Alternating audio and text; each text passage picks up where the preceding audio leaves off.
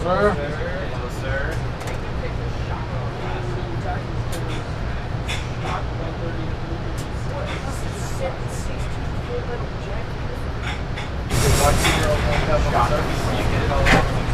Yeah, man.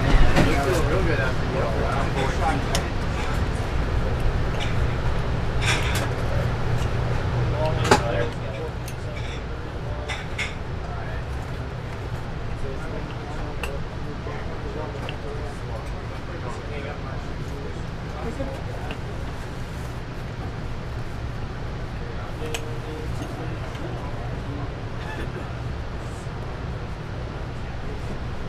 So do you know, do you know what they're doing? Would you be willing to explain that to me while I film you and explain it? I won't be able to do that back there. We're on the uh, PCU South Dakota cruise mess. Uh, we're about to embark on a submarine pinning. Uh, two sailors are about to get their dolphins, and uh, for this, this means it's a step for their careers. They uh, basically have passed this rigorous qualification. We have entrusted them to be able to perform and do their duties uh, when a real casualty occurs. There will be a dolphin pinning ceremony cruise mess in five minutes. So we refer to it as dolphins, uh, our submarine qualification pin, and that's what that means. Fish on your chest. That is fish, dolphins, is slang for this is our submarine qualification. Uh, you see them on somebody's chest, and you know they've they've got the knowledge and the, the know-how to be able to save you if you're an injured man or some casualty hits the boat. You know you entrusted those guys to go on watch and you're able to save the ship in that time of need. All right, everybody. So today we have the honor and privilege of pinning two of our newest shipmates qualified in submarines after a long, hard qualification process. Uh, and Commander Litty's first underway as South Dakota CO. So with no further ado, I will turn it over to the executor to citation. And uh, pinners, please come up and pin our new shipmates.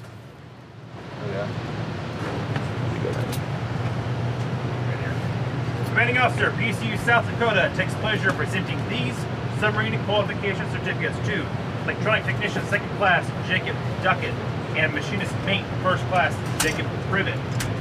Having successfully completed the rigorous professional requirements for qualification of submarines, having gained a thorough knowledge of submarine construction operation, having demonstrated their reliability under stress, and having my full confidence and trust, I hereby certify they are qualified in submarines. Presented this 27th day of November 2018 on board PCU South Dakota. CE Litty, Commanding Officer, PCU South Dakota. All right, that point we can clap, right? well done, Chris. All right, well done. On a note for uh, Petty Officer Privet's fish, uh, they're actually heritage fish from his father on the PCU Honolulu back in 1984. Yeah. Yeah. It's good stuff.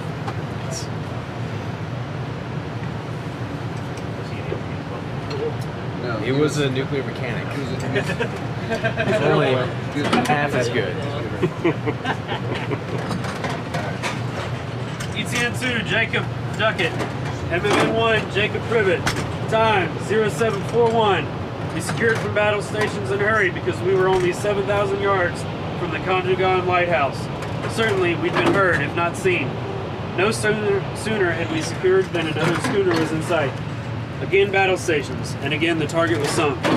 Later, a plane was picked up in the overcast at three miles. Diving, I heard six distant explosions as I left the conning tower, heading for my bunk. Swish! The diving officer heard the, me mutter, Sometimes I think they're actually testing our nerves. Smirking, he added, Not with the distant thunder below, sir. The submariner. Only the submariner realizes to what great extent an entire ship depends on them as individuals. To a landsman, this is not understandable, and sometimes it is even difficult for us to comprehend.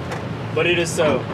A submarine at sea is a different world in itself, and in consideration of the protracted and distant operations of submarines, the Navy must place responsibility and trust in the hands of those who take such ships to sea. In each submarine, there are those who, in the hour of emergency or peril at sea, can turn to each other. These individuals are ultimately responsible to themselves and each to the other for all aspects of operation of their submarine. They are the crew. They are the ship. This is perhaps the most difficult and demanding assignment in the Navy. There is not an instant during their tour as a submariner that they can escape the grasp of responsibility. These privileges, in view of their obligations, are almost ludicrously small. Nevertheless, it is the spur which has given the Navy its greatest mariners, the men and women of the submarine service. It is a duty which most richly deserves the proud and time-honored title, submariner. Yeah. Yeah.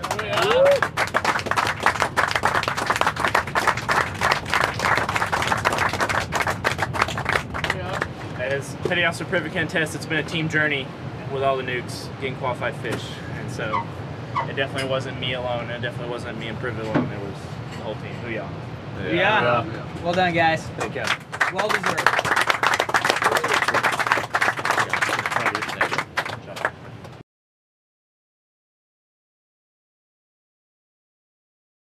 Name is Alvin Arnold. I'm from Memphis, Tennessee. My rank is CSS3 Arnold. Uh, it was a journey. I went to uh, college, to D2 college to play football. Then from there, I decided I wanted to join the military. And who influenced my, my decision to join was most definitely my daughter. Her being born made sure, made me want to be the man that she could look up to. They love the fact that I'm in the military. They, it's like you're gone a lot, but at the same time, they just love it when you come home.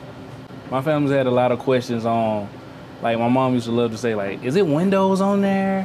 Like, are you gonna be able to look at fish? I'm like, I have no idea. I really had no idea. But no, most definitely my family supports my decision. It's really not that bad. Sub life is really not that bad. I know a lot of people try to kind of paint the picture that it might be or it's like hard, but it's really one of the best jobs I've ever had compared to working in warehouses and everything else that I've done in my life that it's really it's really a good opportunity. I do see this as something I can do for 20 years, but I'm always a man that has a plan A and plan B. I will be uh, going to school to do EMTP and everything just in case it doesn't work out. But most definitely going out to sea for six months, doing nothing but saving money, come back and everything is taken care of. You will have trials, you will have hard days, but it's all about working your way through it, and that's what makes you stronger at the end of the day. So I'm a culinary specialist on the submarines, which consists of a couple things. Like I'm basically the key to morale on the boat. Our food is what brings them joy. And if they're having a real bad day, they can come down and get some good chow. Turns their whole day around. Also, with parts of that, I'm uh, with the EMAT team, which is the emergency medical team, where we're assisting people as well. So not only are we feeding them, we're taking care of them physically as well. Most definitely, everybody on the submarine has more than one job. That's what I like about the camar- like camaraderie about it, because basically everybody has a job of learning each other's job. Everybody's able to take care of one of another. That's the whole meaning about having your fish. Most definitely, I enjoy being on submarines more. Some people on cruisers never get to see their captain, or they never get to talk. Mine, I can just step through one door and have a full conversation with them. So what's really unique about submarines for me is the racks. That's what I would say. A lot of people wouldn't, but I've never lived in a condition where I was like, wow. But it's it's convenient. Like you just close. You six uh six people to a berthing, or you might even have 18 man where it's a lot more people in there. But it's like after a while, that's just something you come accustomed to.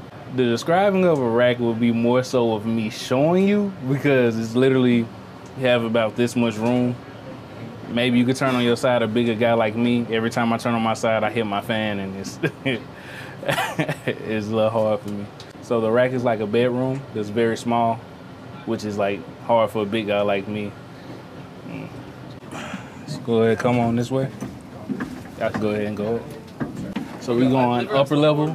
This is upper level of the part of the boat. Going more so back aft.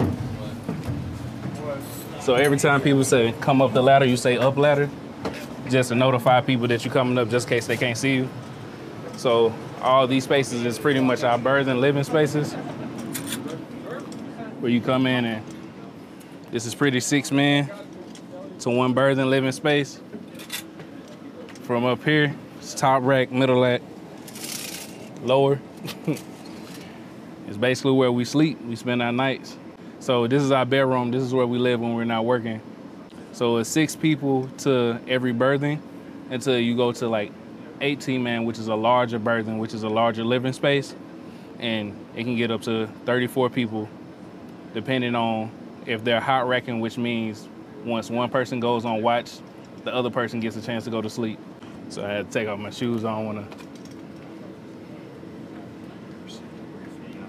I had to turn this way because I don't want to.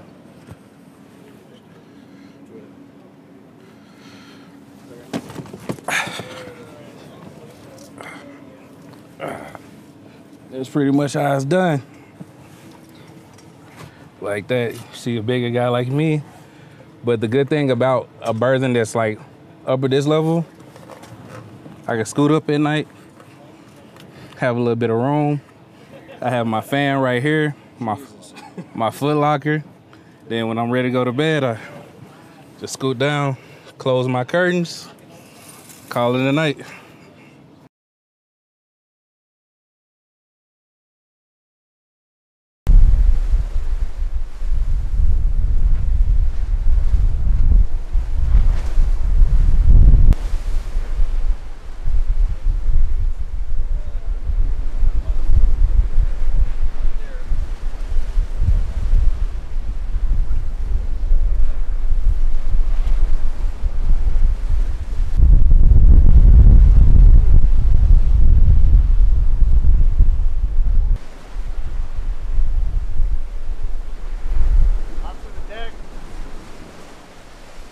Bridge maneuvering. Galport is rigged in.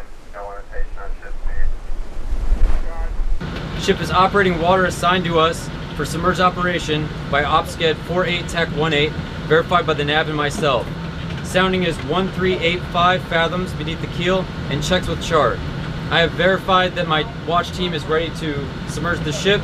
I intend to submerge the ship to 155 feet. Very well, after next, submerge the ship. Very well, aye, sir. Submerge the ship, aye, sir. Pilot, submerge the ship, make your depth 155 feet. Submerge ship, making my depth 155 feet, pilot aye. Submerge ship, making my depth 155 feet, pilot aye. Pilot on the one seat, dive, dive, two glasses, dive alarm, dive, dive. On the one seat, dive, dive, two glasses, dive alarm, dive, dive, pilot aye. Go pilot aye. Dive, dive.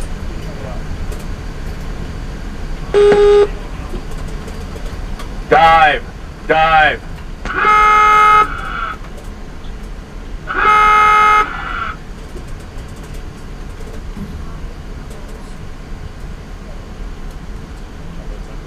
Vents open. Door vents open. All vents open. Bending forward. Bending aft. Three, two.